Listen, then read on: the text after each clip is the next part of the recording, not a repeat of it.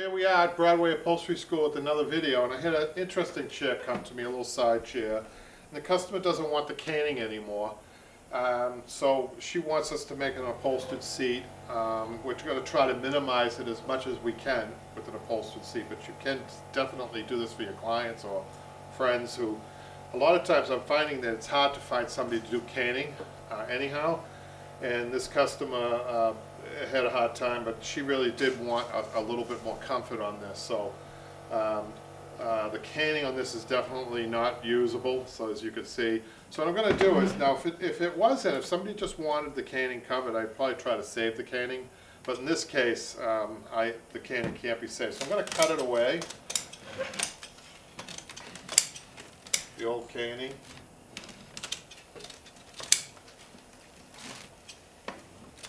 So this video is going to be about how to get it upholstery ready. We're not going to upholster this, the whole thing. We don't have the fabric for it yet. We're just going to show you pretty much um, how to get it ready for to be upholstered.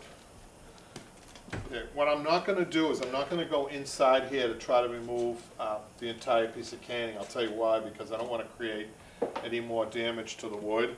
And the clients expressed an interest in really minimizing how far out the upholstery is going to come. We're going to upholster this from the top. We're not upholstering the whole thing.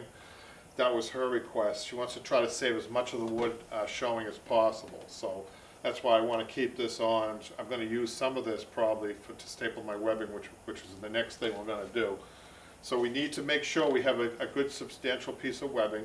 We are going to have to staple into the frame, which the customer's cool about, which I made sure she understood that it's fixed. It's not just yeah, there is another thing that we could do. We could actually make a board for this and upholster that, but she didn't like that idea because she wants nails. She wants French nails around here. So that's what we're going to do. We, if, if you want French nails, it has to be fixed. Um, so let's let's let's go to try to get a little webbing on this to see what's going to happen. You need to be really careful with these frames. These frames are not, you know, like real upholstery frames. So I think I want to put three pieces of webbing on here. So what we're going to do is I'm going to start this piece first. And I'm doing this on the floor for the benefit of you guys. See what I'm trying to do here. So I'm going to try to stay inside the caning if I can on this side of the caning towards the interior of the chair. I'm going to fold this over. I'm going to try to get, I'm folding it over and I'm going to staple. And what you want to do is 3 8 inch staples. Get your 5 in.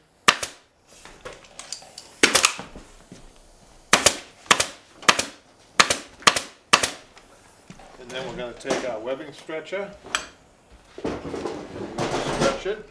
Fortunately, there's a spot to stretch the, and I'm going to try to stay inside the cane. Okay, there's one. Cut that off. And then we're going to staple this down. Okay. Second one on. So if you've seen my other videos, you know that you don't want to pre-cut your webbings because you waste webbing when you when you tend you tend to waste a lot of webbing when you cut pre-cut them.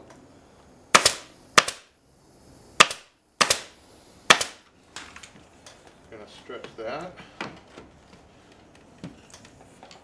Get that stapled.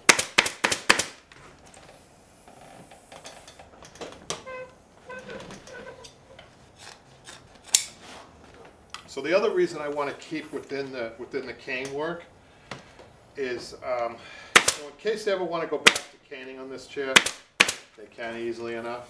I'm not. I'm trying not. I'm trying to minimize any work out onto the finished wood. You know, and, go, and of course, this is the client's request, so I have to abide by the client. Some people at home probably going, "Oh no, I can't believe he's he's not going to cane that chair." sometimes you have to do what the client wants.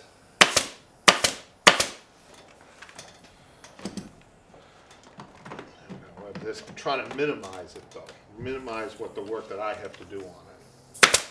That's the point of this video, is that it can be done. It doesn't have to be done in a heavy way. You know, we're gonna, we, we have to keep the profile of this chair. This chair is off the ground to a certain height. It's already, you know, the seating is appropriately, uh, from the floor up, it's appropriate.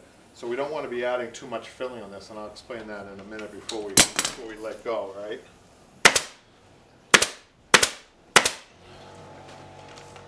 All right, and then I think I'm gonna do two pieces of webbing side to side, and I'm gonna interlace them. I think two substantial.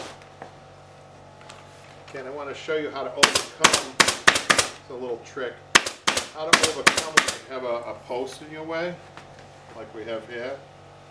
Um, so what you can do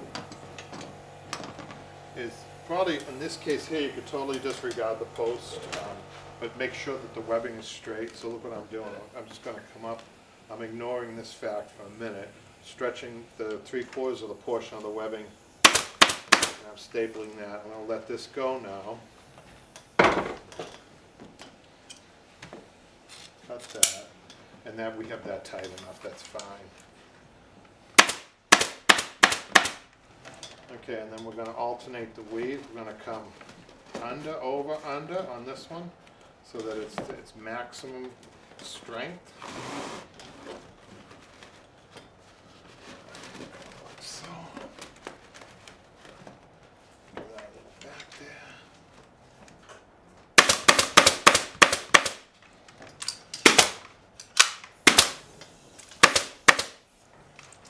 And now I can, I can use the webbing stretcher behind this post. Well, I did two, just to kind of go around the post. It's really important to get a good stretch on this, but you can overstretch this, so when you're doing this, I mean, I could pull this so hard that I could pull that rail out. So what you, what you're looking for is drum tight on these, drum tight, remember that, right? So, we're gonna get this upholstery ready. So there's one other thing that we're gonna do is we're gonna put burlap, and the reason burlap is is really important is because it fills in the rest of the holes here. And without the, without the burlap over the webbing, um, it would eventually come up to the top and it would look like a checkerboard on your fabric. It doesn't matter how thick the padding is either, it's amazing. So this is really traditional and it's the best way. Do not use nylon, do not use a replacement like fabric, it won't do the same thing. Um, the burlap's the best thing. I'm gonna fold and staple around the back first. Then I'm going to stretch it to the front, hand stretch it, not with your webbing stretcher, right? And stretch it, I'm trying to stay within the boundaries of the webbing and where I, where I have my webbing. Okay, on one side you can fold. And the other side's gonna be always your stretch side. Your hand stretch side. It Doesn't get folded right away, it gets stretched first. Stretch, tack, stretch, tack. And I'm just gonna do a little bit more trimming on the webbing before I fold it. It's easier to trim before you fold it, right?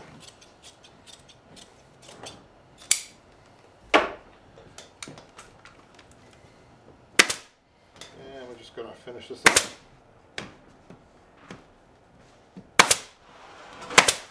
Trying to be careful not to go over to the finished wood.